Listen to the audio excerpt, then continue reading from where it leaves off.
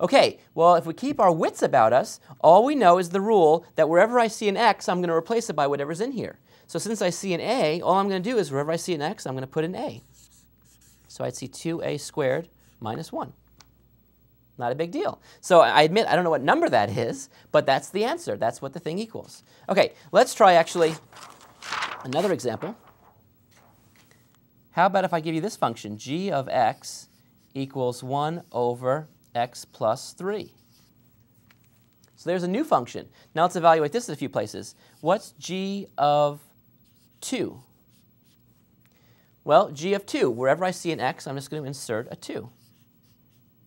And so that's 1 fifth. You see, once you get the hang of this, this really is sort of a piece of cake. Let's see, what's g of, I mean, you can put anything in here. For example, here, let me give you an example. Suppose I want to know what is g of rubber ducky? Well, it doesn't make a difference what I put in here. Whatever I put in here, I'm just going to replace all the appearances of x by that thing. So in this case, I see 1 over rubber ducky, oops, sorry about that, rubber ducky plus 3.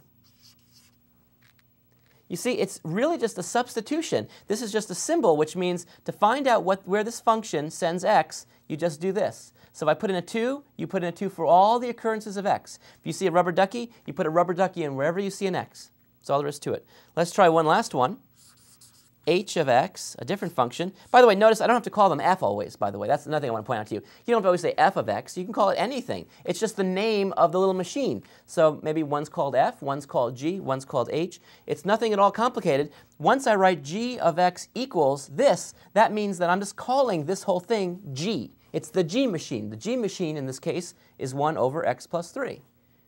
The f machine from earlier on was, uh, you know, 2x squared minus 1, and so on.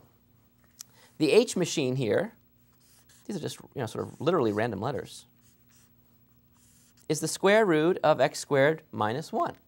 Notice, by the way, it's not plus or minus the square root. It's just positive square root, so it is a function. Now, what would h of uh, 1 equal?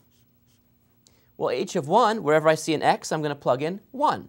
So I see a 1 squared. 1 squared is 1, minus 1 is 0. This is the square root of 0, which equals 0. What is h of 2? h of 2 would equal the square root of, I put in a 2 here, so I'd see 2 squared minus 1, which equals 4 minus 1, which is 3, so the square root of 3.